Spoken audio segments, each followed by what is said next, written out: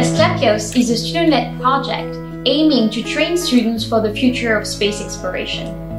These projects, developed throughout the year and focusing on the specific issue, will be tested in our European analog missions, a simulation of life on the Moon or Mars but remaining on Earth.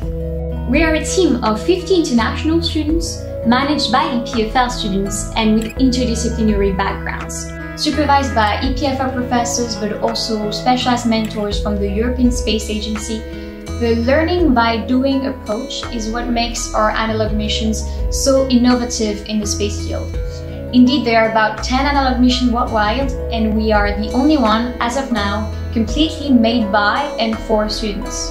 And we are currently planning our first mission to take place in February 2021 at the Grimsel test site.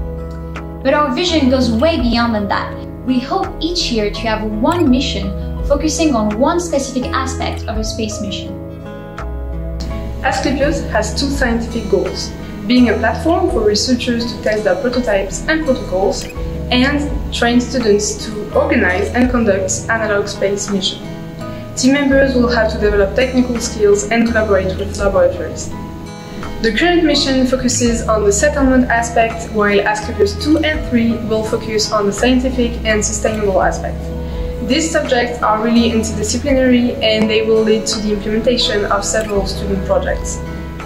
Since Asclepios 2 focuses on the scientific aspects of space exploration, we are planning to implement several scientific experiments. One of them, Red Mars, is focused on how to remove perchlorates from soil samples in order to be able to grow food on Mars. Another one will study plant growth in artificial environments and another one will collect atmospheric data using a tower and the manufacturing of that tower um, as well as the data analysis will be the focus of at least three semester projects as well as potentially be part of the course.